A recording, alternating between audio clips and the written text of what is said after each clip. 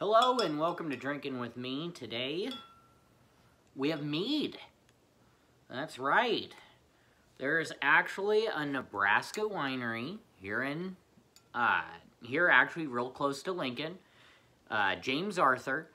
Um, they are amazing. They have amazing wines. They, they have just a, a beautiful vineyard. They have some really great wines. James Arthur in the uh, James Arthur Vineyards in Nebraska.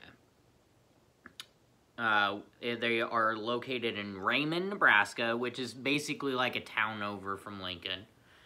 Uh, their label says mead is the original wine in history. After their wedding, a bride and groom would traditionally sip mead from the full moon to full moon to ensure a successful marriage, hence the origin of the word honeymoon, which is actually um, the origin of that has been widely debated at this point. We don't really know if that's actually the term of honeymoon, but um, that's what a lot of people seem to believe.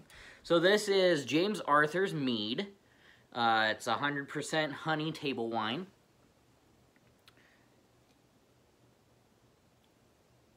I do not see an ABV listed,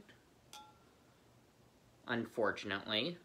Um, if you would like to check James Arthur Vineyards out, uh, go to jamesarthurvineyards.com. Again, they are in Raymond, Nebraska, which is real close to Lincoln. So let's uh, give this a try. It has a real nice, clear color. Actually, almost, uh, almost a little pale um, pale clear.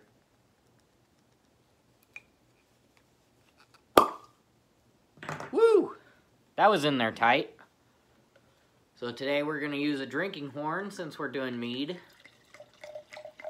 And the whole Viking thing is a big giant meme in the mead community. So might as well have a little fun doing it. So, ooh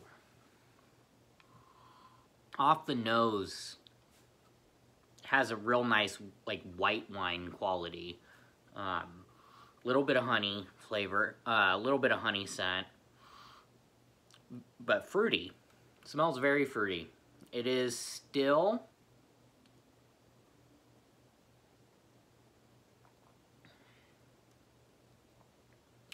Wow. That's honey. wow. This has so much honey quality in it. Um, a lot of character. Yeah, this is uh, this is very characteristic of honey. Uh, very beautiful taste. Light. Uh, it, it's light, but um, delicious. It's yeah, very very heavy on the honey flavor, but light. It doesn't burn. Has no burn to it. Beautiful. Sweet. It has like a sweet taste, but it's not like sickly sweet or anything like that. But it tastes like honey. Exactly what you want in a traditional mead. Awesome. Good job, James Arthur. You really hit the nail nail right on the head. So yeah, this is James Arthur Vineyards. They're mead, 100% honey table wine. Check them out. They're from Raymond, Nebraska. This is excellent. Lots of honey character. Sweet, but not too sweet. I like it a lot.